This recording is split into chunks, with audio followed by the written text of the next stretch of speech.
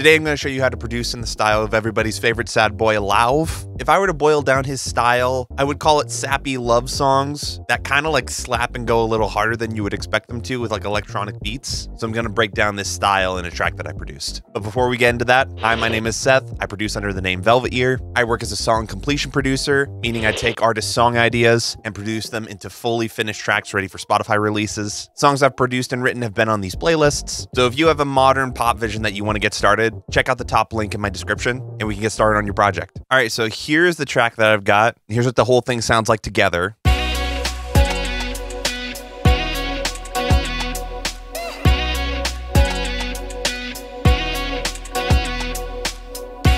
So real fun, real poppy and bouncy. I'm just going to go through all the elements real quick. Something to note about this style is there actually aren't that many instrument groups. I've color coded them here, but you can see there's literally one, two, three, four, five. And they all have their own layer of complexity, but they're all pretty simple and straightforward. So the first ones we're going to look at are these pads. And these pads come in two main sections. The first one are these output arcade loops that I've been using. First one here is this arcade loop really ambient and floaty. I'm going to show you what it's like without all the effects on it. So the first thing I did was I added EQ to filter out a lot of it. Just wanted that sort of ambient mid-range. And then I used the Polyverse Infected Mushroom Wider. Just give it a little bit more width. And then I used the Tal Chorus just to make it a little more weird detuning and more stereo again. And then I added some Raum reverb from Native Instruments. This is my favorite ambient reverb. And then finally, to make it flow with the beat, I added some one knob pumper to sidechain it. To me, it was just the perfect pad to give the beat some movement. And so what I did was I duplicated that sound, but then I went into arcade and I went to that sound and I transposed it up an octave above what it already was. And it made it sound like this adjusted the filter a little bit more just because there was some low end information that we didn't need. And the rest of the chain is essentially the same. And then I just blended it underneath the main one. And I just feel like those two pads mixed together make it really thick and wide without really being super distracting. And then I decided to double them up with some electric guitars. So here's what the electric guitars sound like all by themselves. So again, this is pretty simple. I'll just dissect one of them because they're essentially all the same. So it starts out like this, which is Native Instruments guitar rig on the Andy in a bottle setting. This is seriously one of my favorite pop guitar tones. And I'm just playing straight 16th notes on one note. So I filtered it with some EQ, added some Raum reverb again, and then threw on some one knob pumper. And then I double tracked it panning them left and right. And then I did the exact same performances an octave up. And then it looks like I did some filtering on the group as well and notched some stuff out. So altogether, they sound something like this. So all the pads mixed together sound something like this. It's just such an energetic pad and it adds so much life to the track with that sort of bouncing sidechain effect. And I feel like a majority of that comes from the fact that I'm throwing reverbs on them and then sidechaining them after the reverb, which is the reason why I'm not using a send. So that's all the pads. So let's look at these synths next. So these two synths are actually playing pretty much the same thing. They're just on two different patches. This first one here is the ANA 2 synth on the church preset and it looks like I have some basic EQ with some OTT and some wider. And then the patch right below it is the same synth, but on this modified Grand Music Box preset. I think I just turned off some of the effects. And it's mixed really far below the other one just to give it some attack. So these two synths put together sound like this. I think in early versions, that sort of like that came up after the chord hits was a result of the OTT, but I kind of didn't mind it, and so I kept it in. Next thing we are looking at is this 808.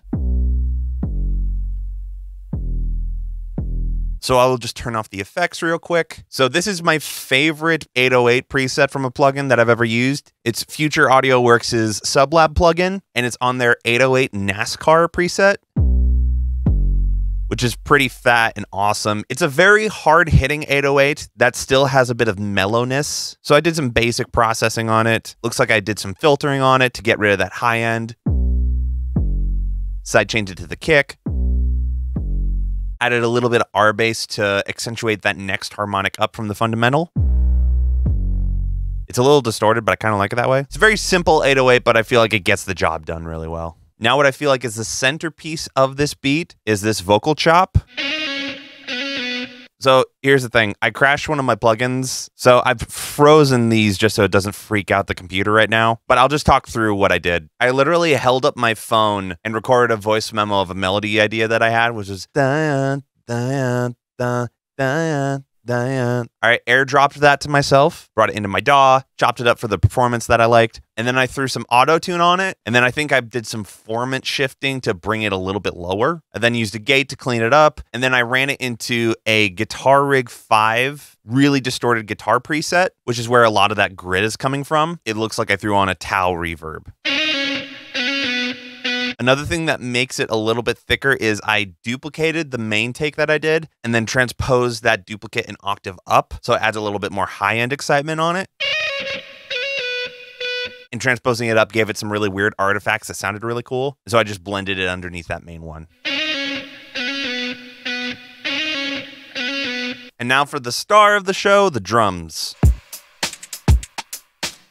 So I'll just go through these one at a time. Kick, I went on Splice and got this Harris Cole kick. It had the electronic smack that I needed for a pop beat like this, but it had that sort of like realistic sizzle on the top end. And then I got this hi hat loop from Hard Trap and Future Wonk. Then I have this basic hi hat loop from the That Sounds Elements pack. And for this one, I did some transient shaping to take off that sort of tail that they had. And then probably my favorite part of this beat is this decap shout sound effect, which here I'll just show you what it is dry. And then I'm running it through a little bit of erosion and then this driver preset from Native Instruments. Just makes it a little bit grittier and makes it stand out in the mix a bit more. We then have my favorite crash sample ever, Clap Impact.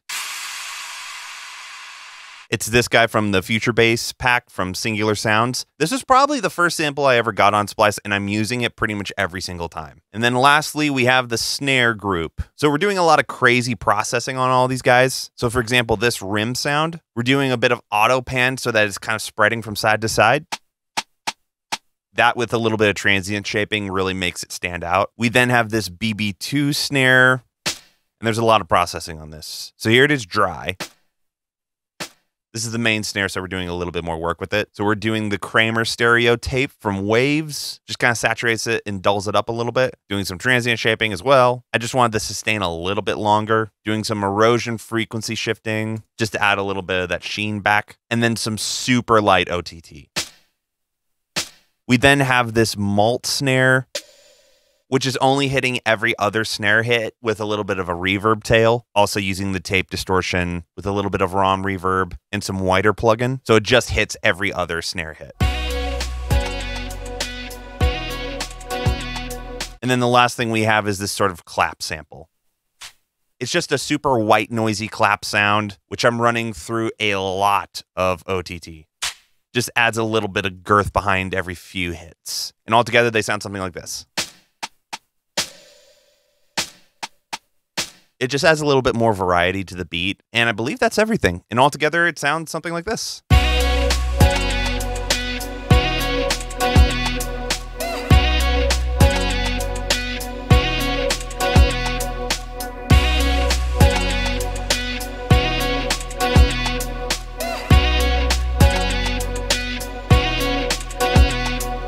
So yeah, hope you guys enjoyed this video. If you have any other pop artists that you'd want to see an emulation of, put them in the comments down below. And if you enjoyed this video, hit subscribe. I'll see you guys next week.